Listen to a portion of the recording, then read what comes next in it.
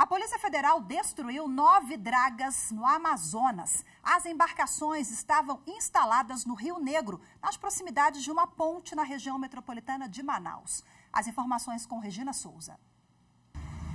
As equipes usaram explosivos para detonar as dragas. Segundo a PF, a destruição é necessária para que não seja possível guardar ou transportar os equipamentos das embarcações.